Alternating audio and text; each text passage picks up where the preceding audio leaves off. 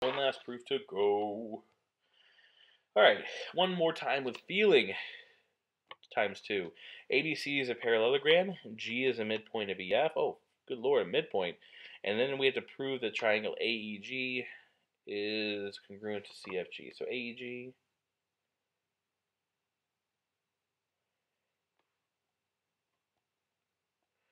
and then CFG. All right, so again, effective proof writers always plan it out first. Um, so we have ABCD as a parallelogram that may or may not come into in handy later. But I know G is a midpoint of e, G is a midpoint of EF. I can probably mark now. G is a midpoint of EF, meaning that GE and EF have to be congruent. Um, so it gives me a side. I immediately see another vertical angle here. Um, so that gives me an angle. So bam, if I just had another side, I'd be good to go. So it does mention that ABCD is a parallelogram. Remember, good proof writers always use their givens, or at least try to.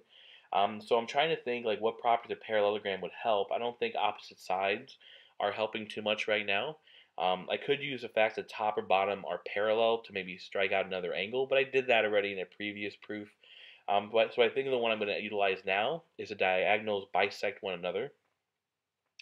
Um, at least I originally I thought I did. I just actually changed my mind uh, because EF is not actually a, a, a diagonal. I don't know if that's actually going to bisect AC.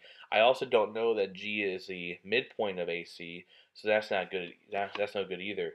Um, so I think I'm actually going to have to use the properties of parallelograms um, that state that opposite sides are parallel.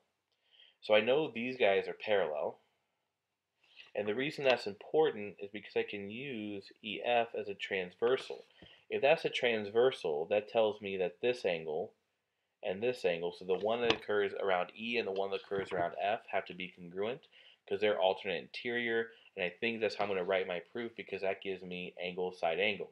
So once again, I have G as a midpoint. Uh, and that G midpoint gives me my first set of sides. I have vertical angles in the middle. That gives me an angle. And then I'm going to use the fact that the top and bottom lines in a parallelogram are parallel. And then use EF as a transversal to use to find alternate interior angles congruent, which completes my angle side angle condition. Um, so let's write it up. I mean, there's nothing left to do that except just to do it. So we're going to have an angle side angle proof which are frankly my favorite types of proofs. Don't ask me why, I'm weird like that. Okay, so let's write this up. So the first angle actually results is a result of parallel lines. It's the alternate angles theorem. Um, but in our proof, we have nothing written. So let's first establish that ABCD is a parallelogram.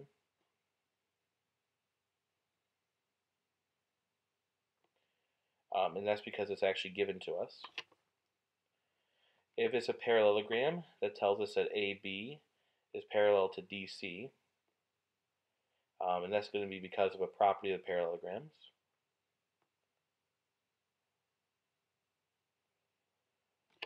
And if AB and DC are parallel, that tells me that's angle, and you know, let, us pause here. Let's go back and actually number these things so I don't have to, to uh, I don't have to use a three-letter naming convention. Let's go three and four. Um, so that tells me angle 1 and angle 2 have to be congruent. And that's going to be because of the alternate interior angles theorem. You get a lot of usage out of that one. Uh, the side, the side length marked in green, that came as uh, through the idea of midpoint. So again, our proof is empty, so let's go ahead and uh, write the midpoint part in. G is a midpoint for uh, EF because it's given, which leads us immediately, because of the definition of midpoint, to include that EG has to be congruent to GF because of the definition of midpoint. And then our last bit is actually the easy one. Angle 3 is congruent to angle 4. Um, and that's going to be because of the vertical angle theorem. So I met the conditions for angle side angle. Uh, so I can now definitely claim that triangle AEG is congruent to triangle CFG by the angle side angle triangle congruency theorem. And I'm done. All right, guys. So that's that's the whole thing. That's the that's the last bit we'll have to do for the semester.